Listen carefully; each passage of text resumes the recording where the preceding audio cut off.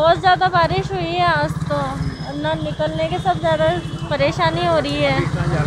हम डॉक्टर के जा रहे हैं लेकिन अभी तो बिल्कुल ही वो नहीं है। रास्ता बंद हो रहा है। चेहरे पर उनके आएगी खुशी और हो जाएँगी सारी शिकायतें गुम। अपने हीरे को पहनाइए हीरा और कहिए हीरा हो तुम। हीरे के गहनों की कीमत पर पाइए 20 परसेंट तक की छूट। आज ही विज़िट करें Tanishq jewellers India motor circle Ajmer शिवरागू ये मेडिकल कॉलेज के तरफ़ पानी बढ़ जाता ना।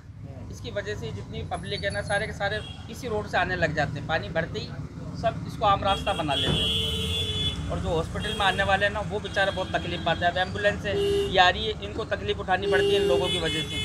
इनको कितना भी समझा लो कोई भी मानने के लिए तैयार नहीं। और कोई लड़ने झगड़ने के लिए और तैयार अगर हम किसी को रोकते हैं तो यहाँ पर। तो कभी आपने यहाँ प्रशासन को बोला कि पार्किंग में प्रशासन भी हमारी यहाँ का प्रशासन तो मदद करता हो कई बार परेशान होके गेट बंद करा देते हैं। लेकिन उसके अंदर फिर ये दिक्कत रहती है कि हम अगर गेट बंद कर देते हैं ना तो एंबुलेंस वगैरह आती है ना कोई पेशेंट होता है तो उनको निकल के आने में दिक्कत होती है इधर। नाम बताइए। मोहम्मद उस्मान। बहुत ज़्यादा बारिश हुई है आज तो।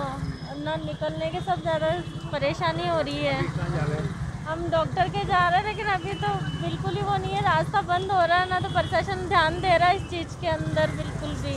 एलन पे मेडिकल कॉलेज का जो चौराहा है यहाँ पे इतनी दयनीय स्थिति है जबकि ये सब कुछ संभव हो सकता है। यहाँ पे पानी का ड्रेनेज सिस्टम अगर सही कर देवे तो रोज़ की परेशानी है यहाँ। अब हालात ये है कि जेएलएन के अंदर जो क्रॉसिंग है जेएलएन से विजयलक्ष्मी पार्क की तरफ़ जो रास्ता जाता है सारा ट्रैफ़िक उधर डाइवर्ट हो गया और इमरजेंसी में कई एंबुलेंस फंस गई वहाँ पे। तो मैं प्रशासन से अपील करूँगा इसको जल्द से जल्द ठीक कराएँ। नाम मैं मुकुल अग्रवाल। यहाँ पे क्या हम जेलन का अंदर रिपोर्ट लाने के लिए जा रहे हैं तो रिपोर्ट के लिए जा ही नहीं पा रहे हैं कि इतना पानी है कि घुटना जितना पानी भरा हुआ है यहाँ से नाले बंद है। बहुत परेशानी हो रही है।